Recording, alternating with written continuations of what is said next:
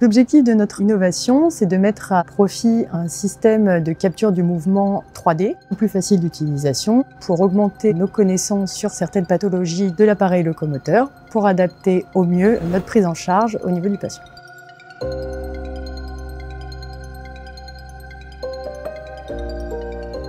Il existe des systèmes de capture du mouvement 3D, mais qui sont très onéreux, qui se déroulent en laboratoire spécialisé, avec un traitement des données qui est très lourd et très long. Et il y a eu un développement aux arts et métiers d'un système sans marqueur, beaucoup plus facile d'utilisation. Et on a décidé en collaboration avec eux de le tester sur trois pathologies différentes, les anomalies congénitales des membres inférieurs, le rachitisme XLH et les pieds beaux varus séquins. Et ça sur trois sites différents, Robert Debré, Bicêtre et Necker enfant malade.